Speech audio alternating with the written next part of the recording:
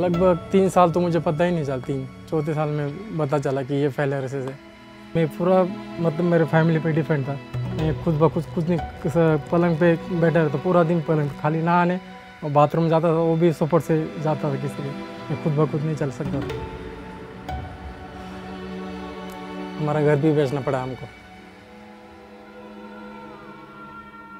Lymphatic filariasis, or LF, has afflicted people in the tropical areas of the world for thousands of years. Although prevention has been made possible, a definitive cure has evaded the disease. Now, there is a new ray of hope. A flurry of activities in filariasis research has provided new insights into potential treatment regimens, including integrated therapies from age old traditions of Ayurveda and yoga combined with allopathy. At the Institute of Applied Dermatology in Kasargod district of Kerala, a group of doctors, experts, nurses, and therapists are helping patients overcome this disability.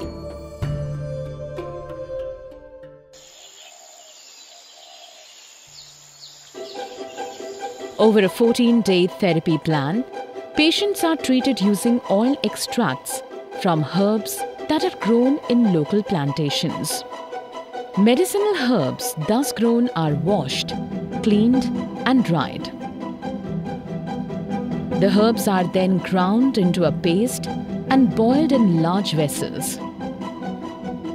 From this, extracted oils, which form the basis of this therapy,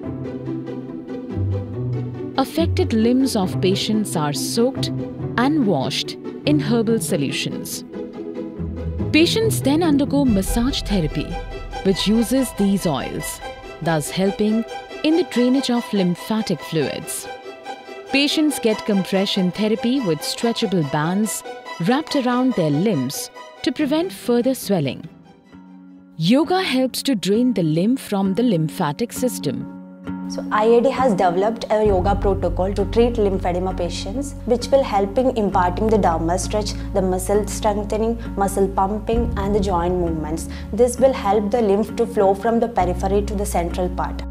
Ultimately, the goal is to reduce the limb size and reduce the morbidity of the patient. और अभी देखा तो इतनी जल्दी growth कर गया कि मैं सोच भी नहीं सकता था कि इतना जल्दी पैर कम हो गए मेरे रिश्तेदार भी देखते मेरे गाँव के लोग भी देखे मेरे फ्रेंड्स भी देखे और बहुत जल्दी पैर क्लियर हो गए इधर This uh, is one treat- treatment which has been successful for lymphedema, especially for lymphatic filariasis. India is committed eliminate lymphatic filariasis by 2027, which is three years ahead of the global target.